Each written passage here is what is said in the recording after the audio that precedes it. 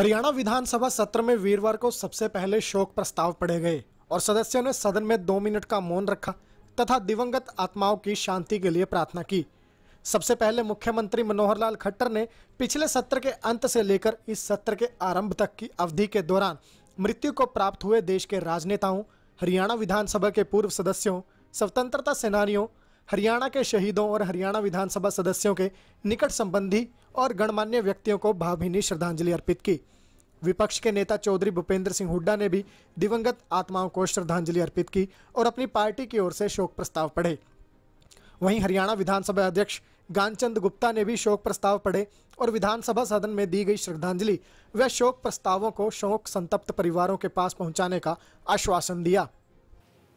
ये सदन भूतपूर्व केंद्रीय मंत्री श्री जसवंत सिंह के 27 सितंबर 2020 को हुए दुखद निधन पर गहरा शोक प्रकट करता है श्री जसवंत सिंह का जन्म 3 जनवरी 1938 को हुआ वे वर्ष 1980, 1986, उन्नीस सौ अठानवे उन्नीस सौ निन्यानवे व 2004 में पाँच बार राज्यसभा तथा 1990, उन्नीस सौ इक्यानवे उन्नीस व 2009 में चार बार लोकसभा के सदस्य चुने गए वे वर्ष उन्नीस सौ छियानवे तथा उन्नीस सौ अट्ठानवे दो के दौरान केंद्रीय मंत्री रहे, उन्हें केंद्रीय मंत्रिमंडल में रहते हुए वित्त, रक्षा, भूतल परिवहन तथा विदेश मंत्रालय संभालने का गौरव हासिल हुआ।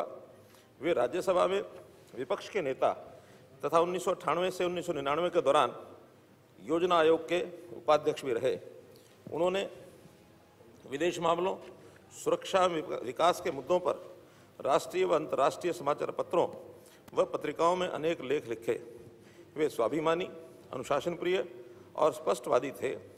उनकी विशिष्ट सेवाओं के लिए राष्ट्र उन्हें सदैव कृतज्ञता के भाव से याद रखेगा।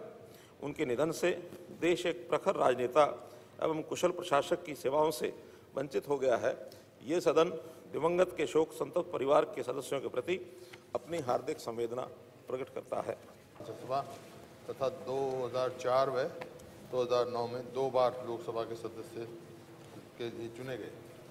वे तिहत्तर चौहत्तर के दौरान केंद्रीय उपमंत्री, चौहत्तर सतहत्तर के दौरान केंद्रीय राज्य मंत्री और चौरासी, अस्सी से चौरासी, तिरानवे से छियानवे तथा 2004 से 2012 के दौरान केंद्रीय मंत्री रहे।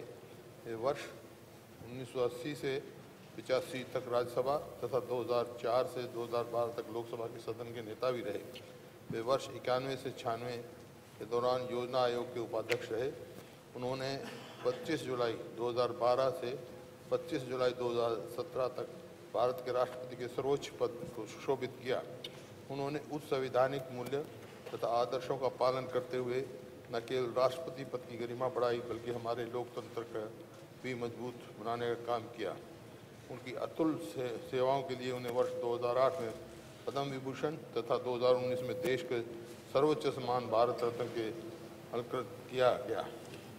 उनका लंबा राजनीतिक प्रशासनिक जीवन, सत्यनिष्ठा, कड़ी मेहनत व निस्वार्थ सेवा भाव से ओतप्रोत रहा और अध्यक्ष महोदय, उनके साथ मेरी तीन पीढ़ियों को मौका मिला उनके साथ काम करने के लिए। वो मेरे पिताजी के साथ भी सदस्य रहे राज्यसभा में, मेरे साथ लोकसभा में रहे और मेरे सपुत्र के साथ भी लोकसभा में रहे।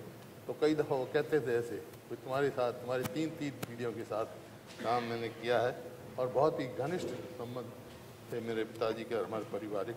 वे उच्च कोटि के लेखक भी थे। उन्होंने अपने दीर्घ अनुभवों और विशुद्ध ज्ञान को पुस्तकों के माध्यम से साझा किया। लोकतंत्र संविधान और राजनीति को लेकर साझा किए गए उनके विचार सदैव हमारे मार्गदर्शन करते रहेंगे।